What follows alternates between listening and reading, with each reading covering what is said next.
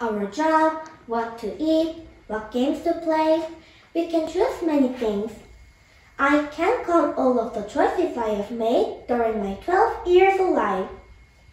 This is my doll Pink, and she sees two roads. The first road leads to a beautiful garden.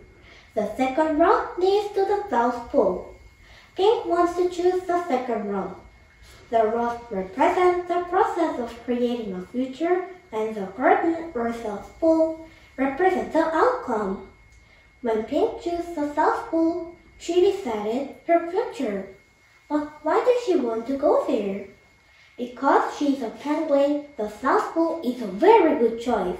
She can live and survive there, even though it might be a struggle sometimes. She might get scared and tired, but she will try to do her best. So, to help her, we can say, Wow, you're a very smart penguin. And she will say, Oh, thank you, everyone. This life is like tug of war inside. There are two of me. When I pull one way on the rope, another side of me is pulling too.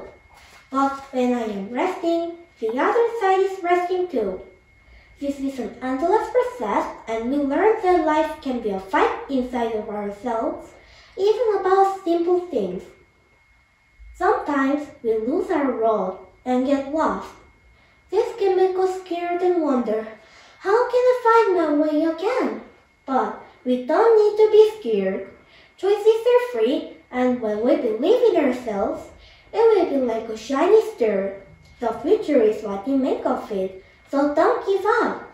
If we work hard, we can find the right road. Thank you for listening to my speech.